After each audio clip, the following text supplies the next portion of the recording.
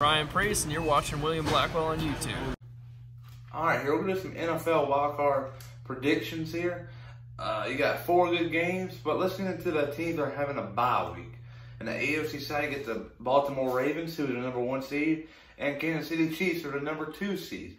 The NFC side, you got San Francisco, the number one seed, and Green Bay, the number two seed.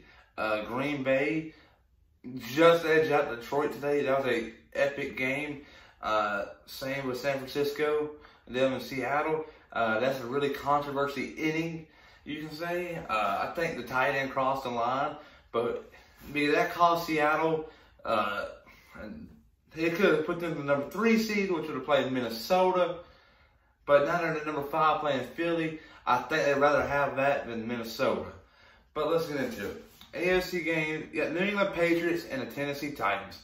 Tennessee is coming off a big win against the Houston Texans. Even though Houston set out the starters, I think Tennessee's win was pretty legit, and I think they carried all the momentum over to Foxborough and beat the New England Patriots, who got beat week 17 by the Miami Dolphins. Uh, Tennessee, I think, is going to make a run at it, but we'll see. Next, get the Houston Texans and the Buffalo Bills. This is going to be a really good game. Deshaun Watson, Josh Allen, who's going to come out? Who's going to edge who out? I think it's going to be Deshaun Watson. This Houston Texans team is pretty good. Uh, they gave the starters, a lot of the starters rest in the past week against the Titans. I think they'll be 100% ready to go. I think they'll beat Buffalo. But next, you got the NFC side of the bracket. You get the New Orleans Saints and the Minnesota Vikings. I can I can go either way on this one. I'm a Viking fan, but New Orleans this past couple, these last so many weeks, New Orleans has been coming on. And so has Minnesota, but they've been dropping the last two weeks.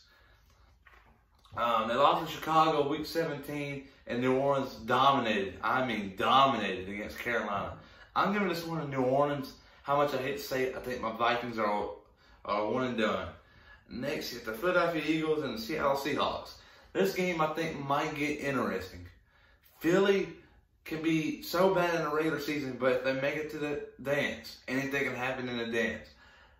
I ain't saying they can win this game, but I'm thinking this game will be a lot closer than people expect to be.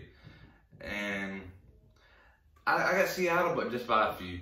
But what do y'all think about these predictions? Uh, are they good? Are they bad? Please like and subscribe.